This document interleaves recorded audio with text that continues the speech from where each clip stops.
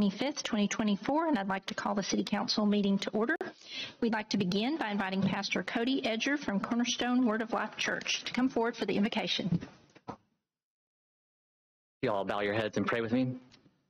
Father God, I just thank you for this time that we come together to listen to the issues and the proposals of this time. This time, Father God, I just thank you that you are with the council members as they make tough decisions for this community, that they are led by peace and led in decision makings that'll be better for our community and for the people of Madison. I just thank you that as they make these choices, they are not making it out of their own opinions, but really for the best interest of our community. We just thank you that everything that is done here is fruitful.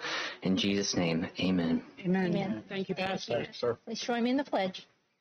I pledge allegiance to the flag of the United States of America and to the republic for which it stands, one nation under God, indivisible, with liberty and justice.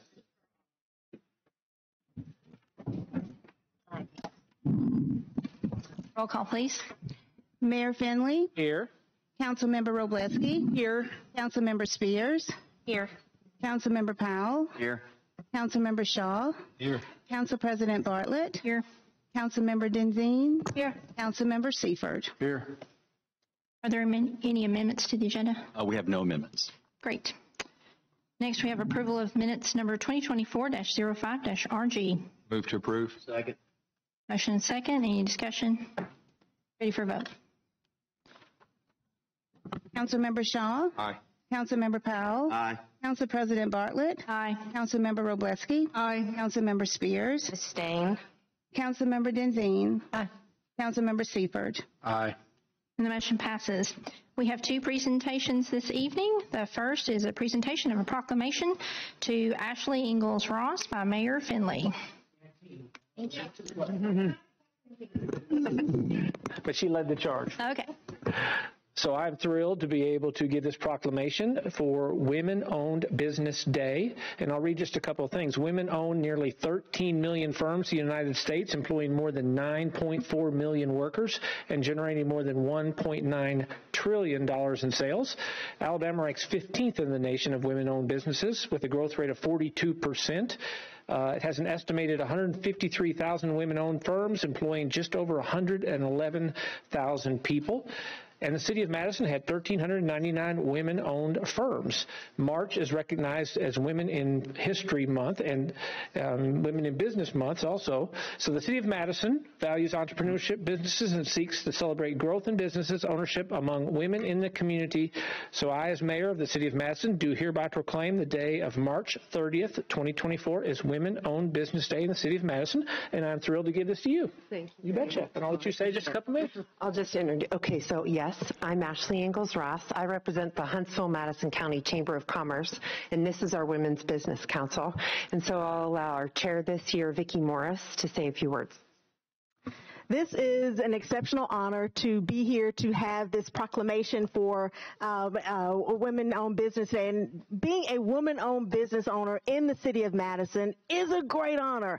I have been able to raise my family, start my business, run my business, and produce two productive adult members into society right here in our wonderful town of Madison. In our school system, I am the biggest cheerleader for our school system and the quality of life we have here in Madison. So this is truly an honor. Um, I consider Paul a friend of mine and lots of members on the council and our fe- uh, fellow female business owners here. So this is truly an honor. We're all very excited to be here and celebrate woman-owned businesses because we know the backbone of any economy is the small business world, and we represent small business here in the wonderful city of Madison, Alabama. Thank you. Heard it be on my can.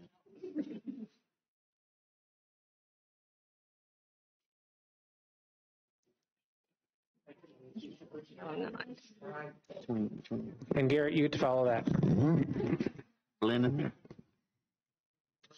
And our next presentation is from BallCorps and Garrett Fahrmann.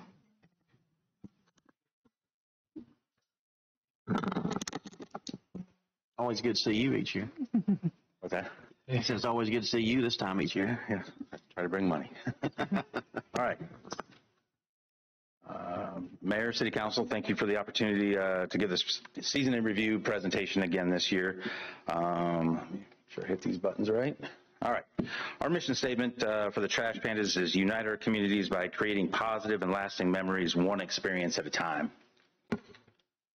Uh, We make our decisions based on our core values, which are integrity, passion, innovation, teamwork, and accountability. Uh, we know we're more than just a ballpark. Uh, we are truly a centerpiece for the for the community. Uh, this year, we've added quite a few uh, free events uh, at the ballpark. Uh, we have yoga in the outfield, which you can see there in the picture on the left. It's amazing how many people came out and for for those events. Uh, free movie nights. We didn't charge for movies this year. Uh, we had a, a movie series over the course of the summer and uh, we had free business mixers. So every quarter we have we invite all the local businesses out. It's a free uh, meet meet and greet uh, connection event. Uh, whether we have it up in the Sports SportsMed Stadium Club or on the in the Bill Penney Plaza, depending on weather. And also this year we didn't charge for kids for trunk or treat event. Um, so we got a lot more, a lot more people out for uh, you know getting all that candy and stuff like that with our with our with our partners. Uh, non-baseball events this year, uh, we had over 150 days worth of events, including the, the fair, the Christmas light show, the Winter Wonderland, um, including 14 high school baseball games, uh, a lot of local teams, but also James Clemens had a tournament this uh, in 2022 that brought in a lot of teams from out of the area, out of state that came uh, that came and played at the at Toyota Field. Uh, SEC baseball games, we had uh, both Alabama and Auburn play this year. Um, it's funny we're talking about this now, but we just had Auburn play this year already. Um, and we have Alabama playing tomorrow now that the weather is hopefully cleared out and we're ready to go there. So. All right, we had a Smoke and Outfield uh, event. It was a barbecue festival. Um, we got word that the whistle stop wasn't coming to town this year, so we decided to um, try our our um, uh, to fill the void, I guess, without the whistle stop. And we had over 50 cook teams uh, come in from all over the region. Uh, it was a certified event, and it was a it was it was a great great really event, uh, good event. It was a lot of work, but uh, it was it was well worth it. As you can see, all that uh, uh, good food that they that they produced. Uh, Toyota Motor Manufacturing of Alabama, our sponsor for Toyota Field, had their Toyota family picnic outing. Uh, reserved the whole ballpark and came in, and we had fun celebrating all their successes in the in the area. And it was just, um, you know, they've been such great partners of ours over the years, and we're looking forward to continuing that uh, for years to come. Uh, we had the Celebrate Madison event. Uh, lots of folks attended to hear the mayor give us updates on all the great things that are happening in the city. Uh, we didn't keep a head count, but I think there was definitely a, a few thousand there that day, um, enjoying uh, enjoying the, the day out at the at the ballpark.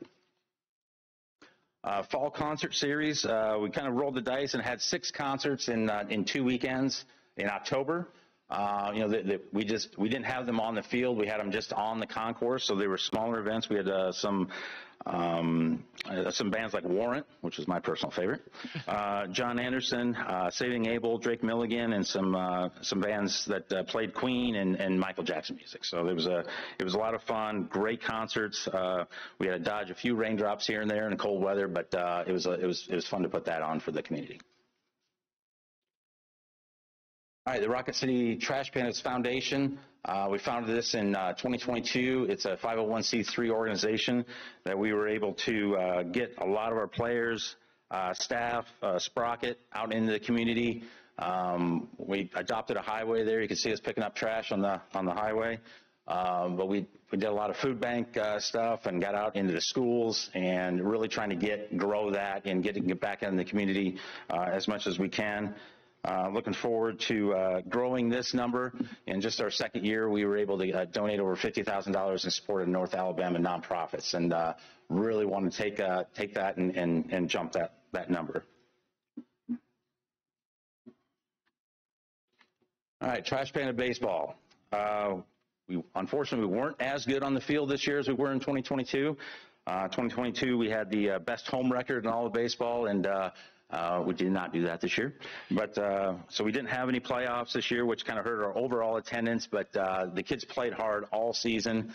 Um, you can see, uh, I'm not even sure who that is. They're wearing the, the uh, helmet there, but NASA made that for us. Every time the guys hit a home run, they come off the field and put that, that uh, helmet off for just a little uh, extra celebration. Um, let's see. We led the Southern League in attendance again this year, number four uh, overall in Double A in, in paid attendance. Uh, we had 12 former Trash Panda players make the Major League debut, which is that's what we're here for, is for guys to go up uh, and, and make their dreams come true by becoming Major League Baseball players. I think we're at a total of like 28 um, after three seasons, which is a huge number. Uh, we had pitchers. Uh, uh, Coleman Crow, Ben Joyce, and Eric Torres combined for the second no-hitter in Trash Panda history. I don't know if you remember that game, but uh, believe it or not, we lost that game seven to four uh, after throwing a no-hitter. So uh, things happen, but we got a lot of publicity for it. uh, made all the national headlines for that. Like, how does that even happen? But I witnessed it, and it did happen. um, we had five of our top uh, 10 Angels prospect play in Madison this year. Um, I was uh, fortunate enough to be uh, the Southern League uh, nominee for minor league executive of the year. I'm not saying that to brag, but I think it's saying that to uh, saying that the, our industry is noticing what we're doing uh, here in Madison, and, uh, and that, just that nomination um, was uh, was an honor to to have that be you know, spoken about and in Las Vegas at the meetings.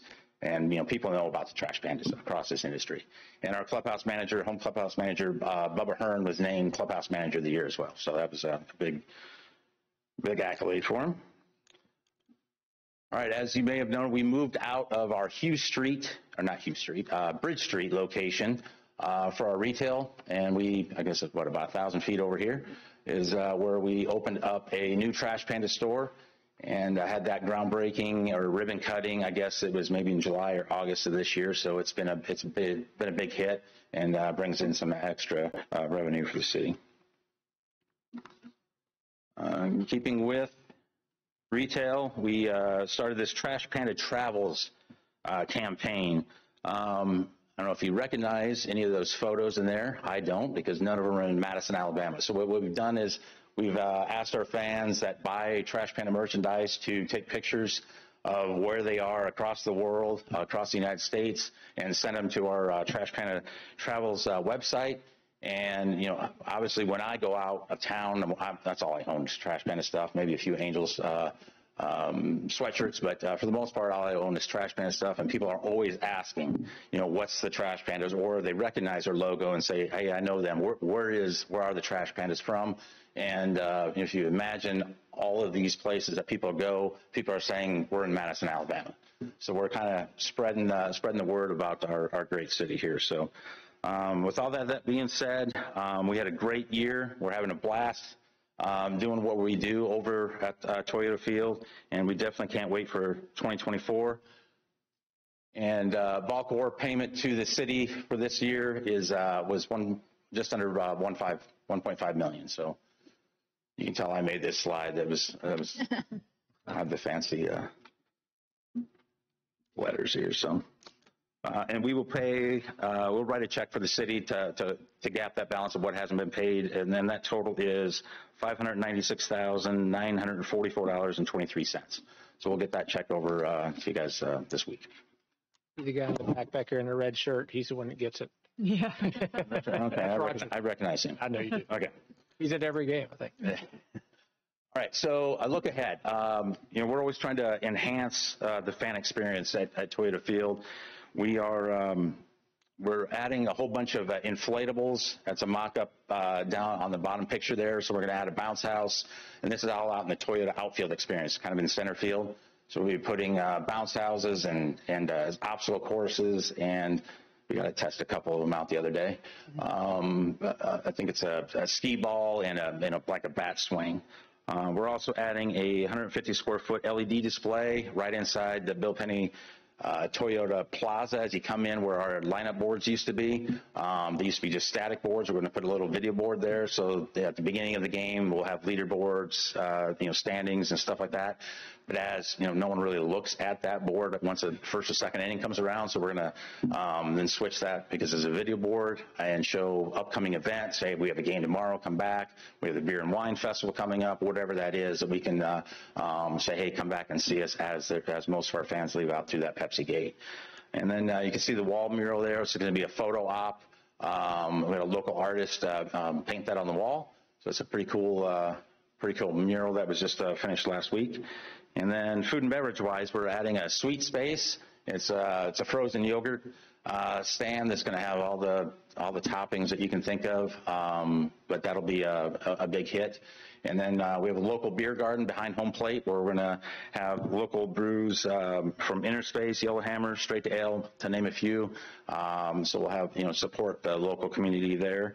And then also we have valid fill dispensers uh, that'll help with our our uh, speeding up some lines. It's going to be a refillable cup, reusable cup that you can bring back uh, game after game, but it'll be an option for fans to um, you know purchase on the cup, and it's it's pretty cool technology. So all the engineers in town will uh, get a kick out of that. So, all right, that's uh, that's my presentation. So thank you for your time. Any any questions? Thank you for moving thank across you. the street. Yeah, you bet. That was huge.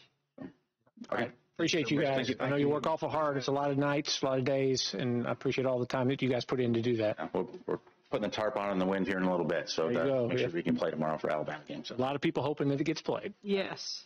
Thank you, Garrett. Uh, Next, we have public comments. Speakers are limited to three minutes each. Please come forward and state your name and the district in which you live. We do not have any comment cards filled out, so anyone who'd like to come forward, please come forward. Hi, my name's Joanne Holman, and I'm a licensed professional counselor.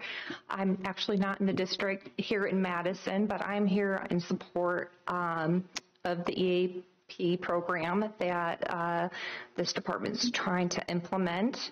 Um, I actually did do a short stint with the police department. I did live in Madison for about 14 years, and then moved over to Huntsville, not to be a traitor or anything. Um, but my clientele are all over North Alabama, so I am a huge supporter of this EAP program.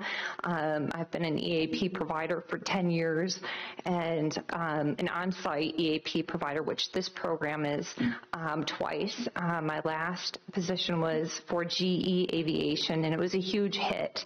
Um, it's really hard to get people to do these type of positions, and so once they are filled, it's it, it, it's just a huge um, bonus to um, the organization and um, I don't know numbers because numbers vary as far as that goes, um, saving money um, per person per hour regarding absenteeism, presenteeism.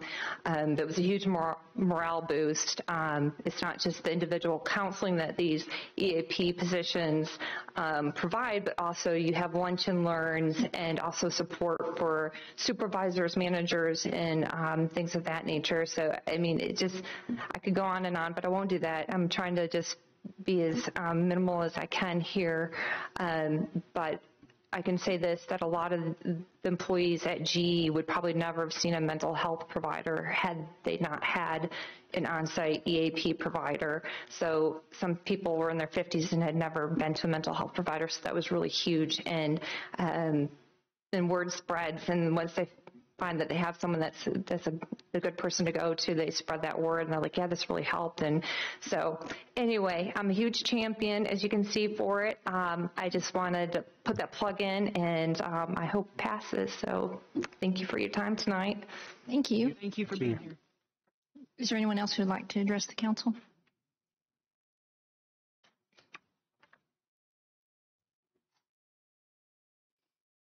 Jennifer Coe, Ashley Estates, District 5, Council President. Okay, today, um, here to talk to you about human resources, resolution authorizing an EAP, which this lady was just discussing. So it looks like it's an employee assistance agreement with behavioral health systems. So this one, I guess, is just, um, will just be covering mental health. Okay, it looks like a form of occupational medicine or military health. I'm not sure. It's a third party administrator. So who submits the claim? Does the liaison also provide the mental health benefits for which they may submit a claim to behavioral health systems over and above the published 38,000 a year salary that is in the contract? Um, what is the rule requiring an employee who retires? How long do they have to wait before they're allowed to con- uh, contract with their former employer? Because it looks like it could be a conflict of interest. Um, is it, is it in the best interest of the employees with this situation? I don't know because this looks like it's just for the police and the paramedics, or is this for everyone? It looks like it's for the police. I don't know. So, um, is it in the best interest of the employees because this falls under human resources, so it's ostensibly a benefit. It says there are drug testing, and also um, it says that I've got out of order here. They're doing drug tests. They're going to do group therapy. Um, some of the things that it will encompass, um, it doesn't look like it would be appropriate. So the employees will be receiving mental health wellness benefits from their ex-boss who will be, according to this contract, be able to provide certain confidential information to her boss, the same as the old boss. It, see, it says group therapy. It's probably inappropriate. Um, and responder wellness checks and how does that work? And also under legal, the resolution authorizing an amendment to the agreement with Huntsville Utilities for streetlight maintenance.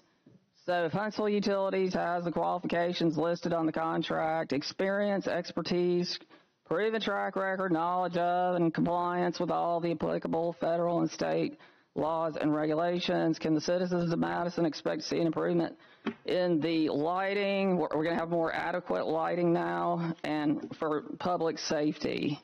Thank you. Thank you, Ms. Coe. Anyone else?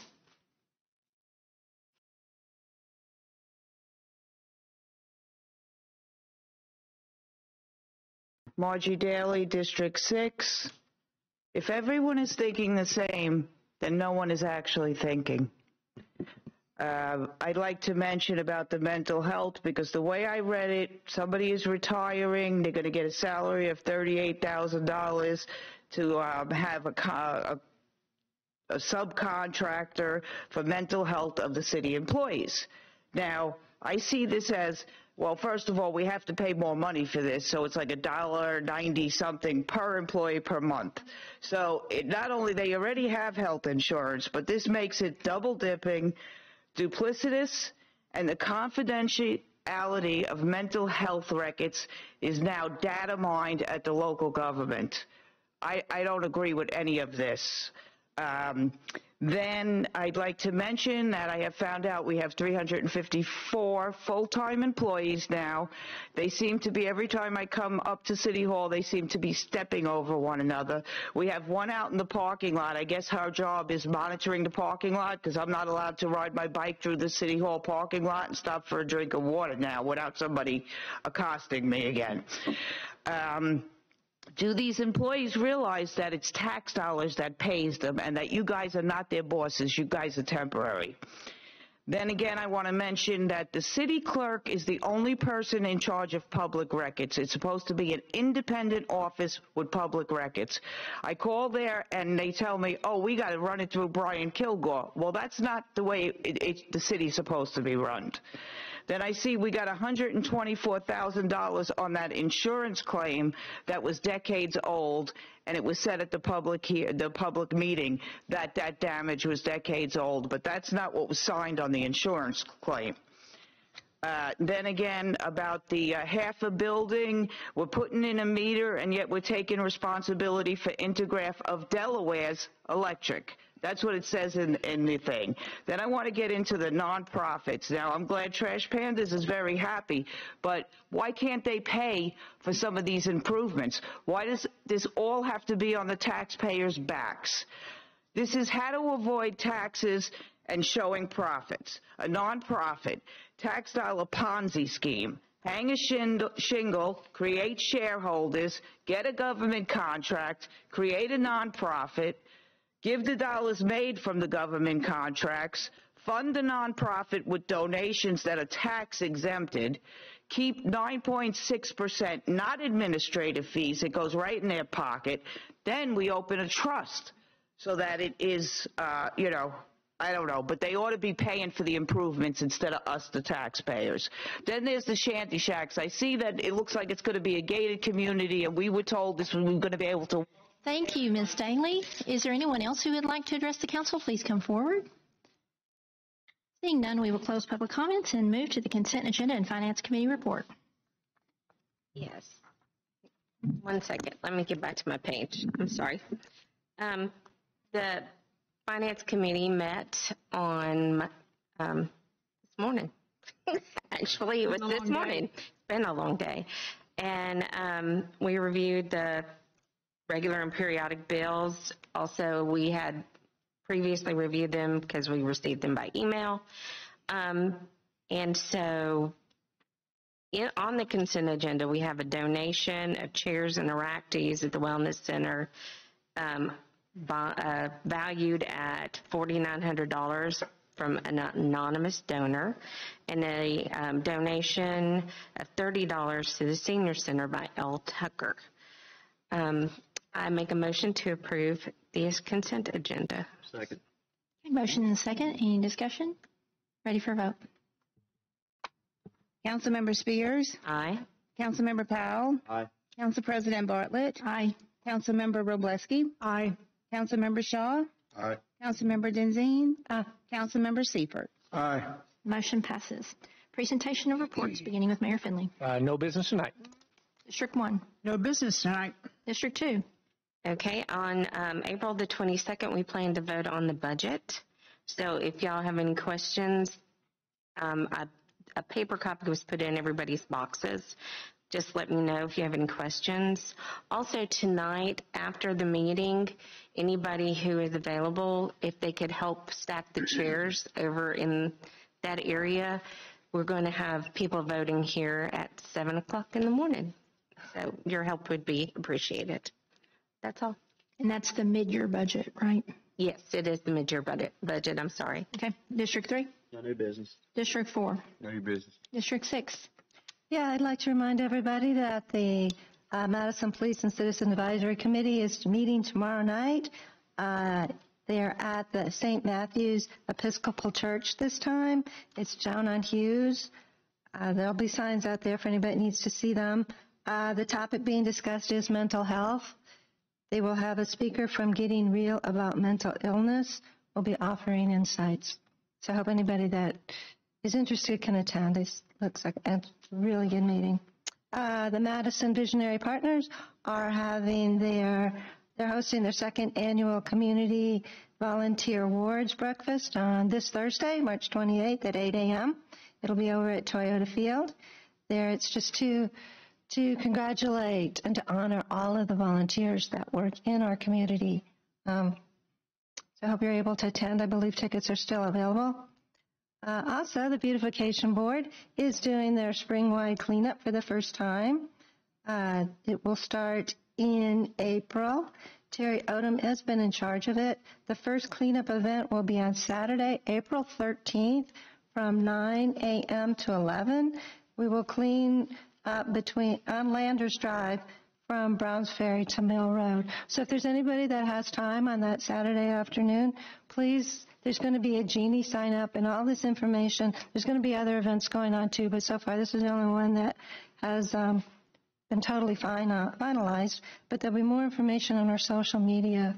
So um, I hope everyone will will get involved and help to clean up our city in this way. Um, I'd also like to thank the police department for their added presence on Crestview and Atwood Drive now that they've opened the Dublin back gate. Um, there's been many concerned citizens, and I appreciate the extra presence there. And finally, I wish to thank the fire and rescue department. They hosted me for a full day on March 13th, and it was a full day. Started at 8:30, finished at 4:30 in the afternoon, and it was amazing. They they were so hospitable, but I got to visit all four of the stations. I was able to see a demonstration done on cutting holes in the, in the roofs in order to let out the smoke so that gives time for those that are trapped to, um, to be rescued. It's, it's amazing what all they are constantly training and working on over there. Um, I also learned about the in-house paramedic training that we provide. It's amazing how many of our of our firemen are also trained in paramedics, so there's somebody there on site to help when it's an accident or a fire. And this is an amazing thing that we provide for our city. And I'm, I'd like to thank Chief for all for all that you showed me that day, for how wonderful all the employees are, very respectful, um, and they are here to serve us. And they work so hard and they sacrifice so more, so much. So I just wish to give a shout out to each and every one of them for a lovely day. And they have invited anyone in City Council who would like to go also spend the day with them. Um, you learn a lot, and it's a good way to support the people that protect us. And that's all I have. Thank you. District 7? No new business. I have a couple of reminders. We are going to be conducting Board of Education interviews this Wednesday here in council chambers beginning at 5:30.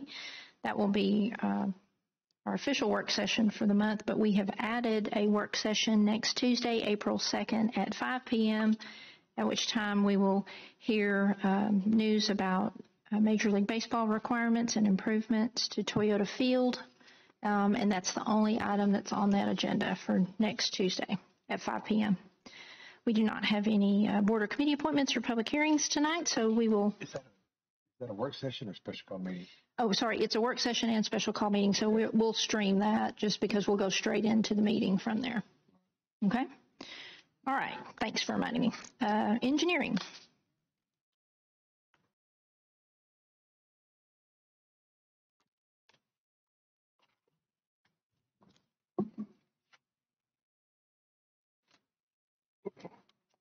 Um, all right. First, uh, first uh, tonight I have uh, resolution number 2024-006R. This is authorizing a memorandum of understanding with the City of Huntsville and Madison County for joint funding of the Slaughter Road improvements uh, to divide the construction cost of that three ways.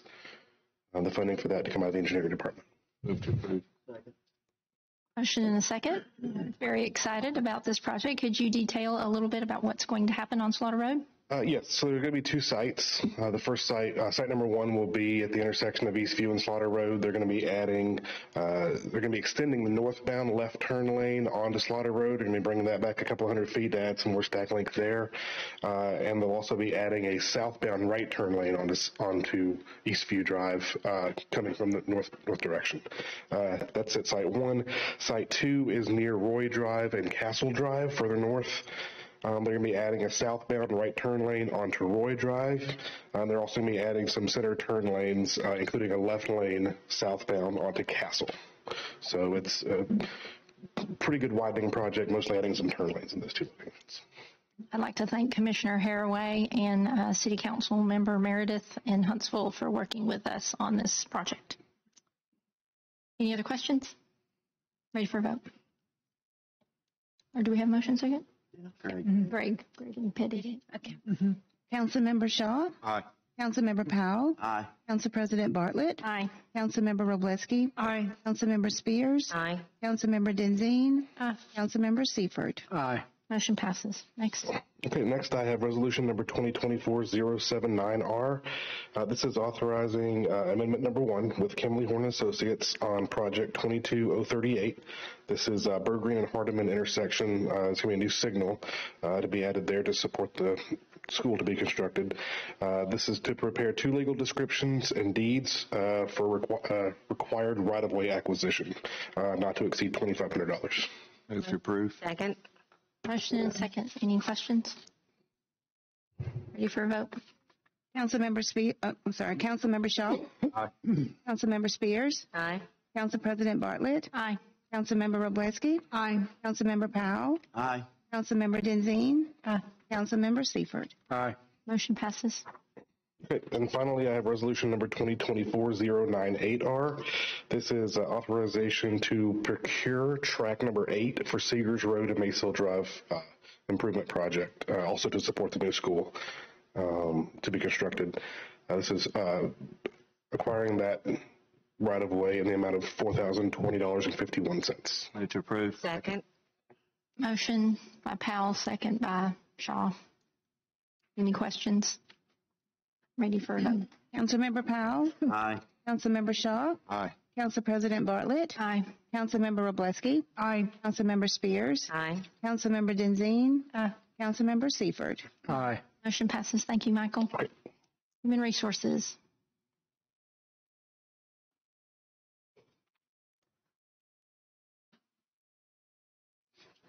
Good evening, Council. I have two items for your consideration this evening. And because these two items in coordination make a new program for the city, I'd like to take a moment to explain them together and then request individual motions for discussion and a vote. Thank you.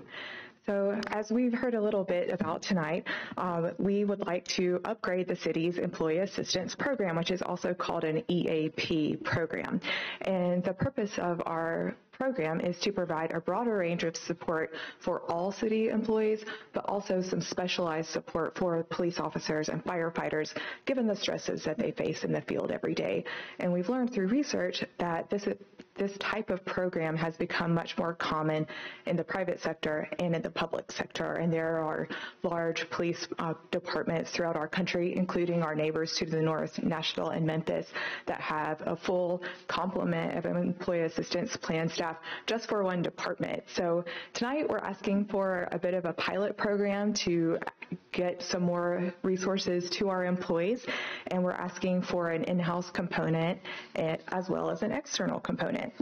So the first part of this plan is to authorize an agreement with behavioral health systems to provide an employee assistance program to all city employees. If approved, behavioral health systems will provide 10 sessions to each employee and their dependents for counseling and even legal, financial, and elder care guidance. They provide other medical evaluations and assessments for city management when that's needed and professional case management support. They also provide employee and management education and training. And if approved, this will cost about $10,000 a year for three years based on current estimates. And I'd like to note that the City of Huntsville, City of Birmingham, and Madison County all have retained behavioral health systems as their EAP provider, and I've heard very good things about behavioral health systems from Huntsville's HR director. In addition, we'd like to provide in-house support for our police officers and firefighters, as well as our dispatchers, by authorizing an agreement with Detective Stacy Thomas, who is retiring soon, to be an in-house wellness coordinator. And the scope of work that we're proposing is that she would provide first responder wellness checks, counseling support, and therapy referrals, lunch and learn sessions, group therapy for first responders, and critical incident response and support. Uh, we've received support both from the police chief and the fire chief for this program. And like I said earlier, this is becoming a much more commonplace feature of a modern police department and fire department. If approved, this will cost $38,000 a year for one year, and we'll track the expenditures and activity over time to know if we can bring this forward for an extension next year. I'd like to note um, a few facts about Detective Thomas's background and then address the question that came up earlier about the retirement systems of Alabama and ethics concerns that one of our citizens raised. So I, I figure all of you have had a chance to meet and work with Detective Thomas in your time in the city. She came to us from the Memphis Police Department where she was a critical incident team member and received a good bit of training from Memphis. Then she came to Madison 17 years ago and has been an excellent police officer and she spearheaded the community mental health officer program where she has provided so like support in the field for many crit- critical incidents that have happened involving our citizens over the past several years. While she was here, she also obtained her master's degree and she used the city's tuition assistance program to do that. And she'd like to stay around to help her colleagues in the police department and fire department with their wellness needs. I'd like to note that we ran this agreement by both the Retirement Systems of Alabama and Ethics Commission, and we, we received pre-approval from both. How this works is that Detective Thomas will submit her retirement paperwork She'll have one month until she officially retires from policing. Then she'll have to take a one month break and she can come back to service in June. So if approved, uh, if both of these items are approved tonight, we would like to start this program the first week of June. And I'll be working with my staff to make sure that we've got everything ready for implementing the program at that time and get all the information to employees that they need. Move to approve Resolution 2024-091-R. Second. Okay, motion um, by Spears, second by Denzine. Wroblewski. Oh, was it was Wroblewski? me. I'm sorry, Wroblewski and Denzine. Any comments, questions? Thank you. This is just going to be huge. Thank you so much for providing this for our, for our safety people. Thank you so much. Thank you for your support. Ready for a vote? Hey, let me, I got a quick comment about that. So I, I do want to um, speak ab- about this a little bit. You know, as, as I've done other things and seen other, other um, events in our state, this is something that's talked about a lot. Uh, mental health is always a, a big issue, particularly amongst departments of police, fire, um, all over the place. And I think this is something huge that we're doing for the city and our city employees. Um, I, I would ask at some point if we could revisit it for even our retirees because you know when they when they leave the job, they take some of those things home with them. Um, that it doesn't end at their employment. So um, you know when you do some of the things that the fire department does or police does, um, it's it's stuff that I can't imagine and stuff that I wouldn't want to do. So I would like to see us grow this if we can. Um, you know, I I just think it's an important thing we're doing. I'm I'm really excited about it and hope hope it passes. That's a great point, Teddy, about retirees. Yeah, that really is. I totally support that too. Does, does this program also, I mean, just understanding from the police families and first responder families, um, if they're covered under the insurance, does it also cover them for Yes. mental health as well? Yes. Okay. But not not everybody takes their medical insurance into retirement with them. So No, I agree. I'm just saying, at, as part of that, I mean, I, you know, I, I still deal with issues myself from, from, from my grandfather. So I get it of, you know, what, say I get it. I've never been in that position, so I don't even want to say I understand what police officers and, and, you know, first responders, firefighters, what y'all go through. But, um, at the end of the day, I do know what it means to, you know, hug or kiss your loved one goodbye in the morning. You don't know they're coming back in the evening. So. Okay, ready for a vote? Councilmember Wroblewski? Aye. Councilmember Denzine? Aye. Council President Bartlett? Aye.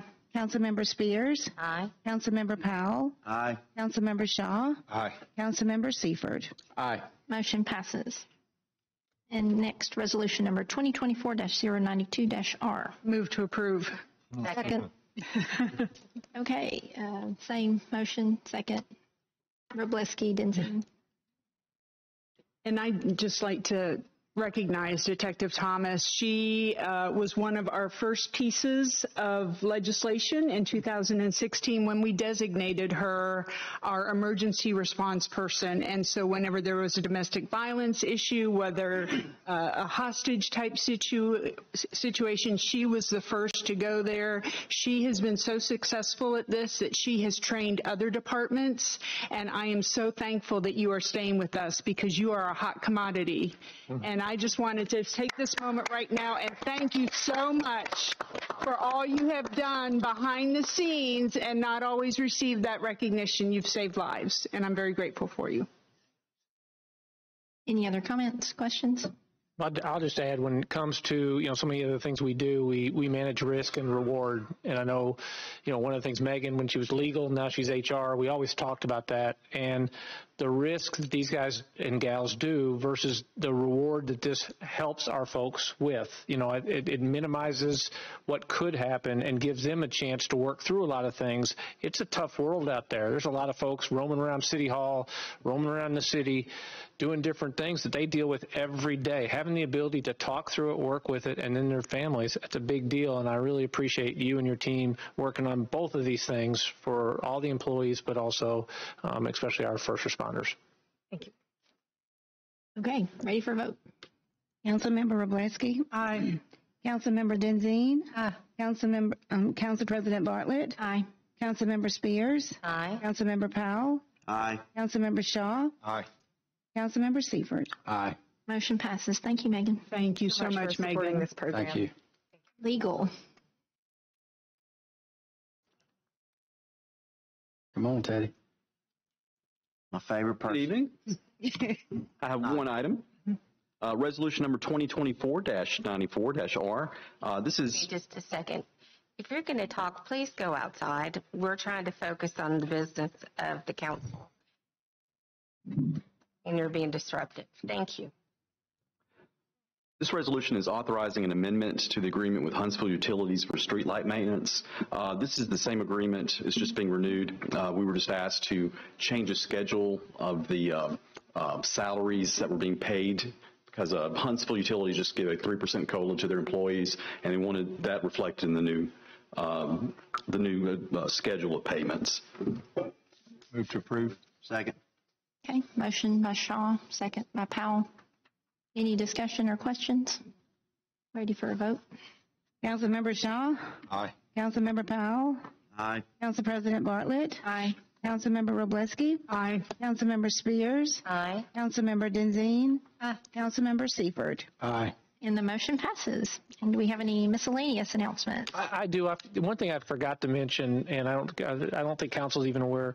We um, we had a situation um, over the course of the last couple of weeks where we realized that from a billing standpoint, um, we needed to make some adjustments, and it was and, and the city of Athens and um, is the one who manages that. And I was able to call the mayor and say, hey, we're going to be sending this. Will you look at it and help us? Uh, if you know, work through this. And within four days, he not he didn't ask a question. He just sent us a check. And I just thought it was, you know, from a teammate standpoint for helping us, um, it was really to me valuable that that they do the billing for us, but that he also understood, hey, we we will miss this, and we're going to get it right going forward. But I just wanted to comment how how well and how much I appreciate them just doing it. So Good I forgot to mention, and I appreciate them. Good partner. All right. Motion to adjourn. We are adjourned. the things that you're looking for. Obviously, we have all social media platforms that are there that in turn continue to push this information out for you guys.